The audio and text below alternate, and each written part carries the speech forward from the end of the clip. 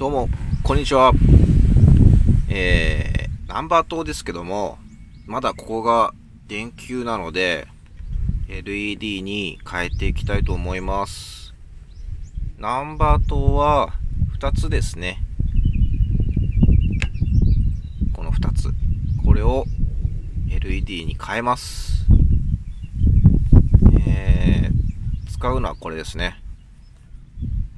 で、左側のこの黄色い内装剥がしを使って交換していくわけなんですけど、そのやり方がこうやって説明書に載ってるんですよね。ありがたいことです。えー、やり方は、左側の方を、なんかグッと押し込んで、爪を外していくっていうような、そんな感じになってるそうなんで、やっていきたいと思います。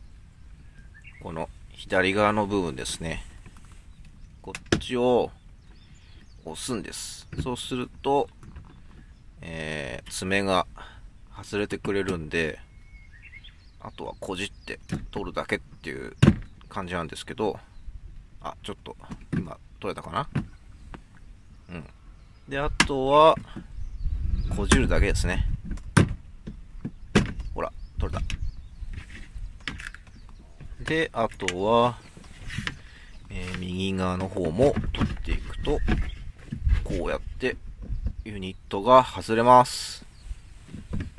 ここまで来れば、あとはこの電球がついてる部分を90度に曲げて取るだけなんですよね。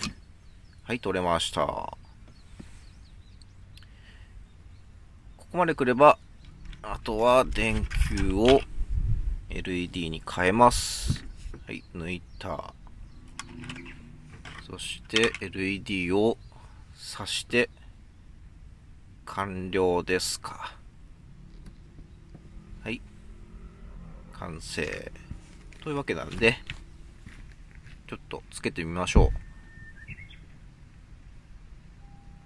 う。お、ついた。結構白いのが、これ昼間でもわかるぐらい、結構明るい LED ですね。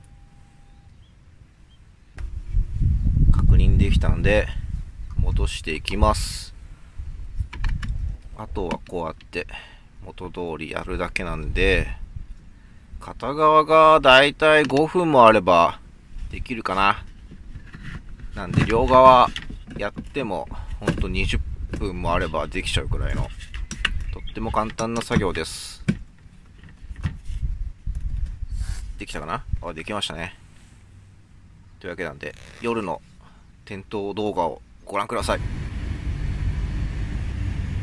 白いですね。結構明るいです。よかったよかった。これでですね、この車、LED 化が完成しました。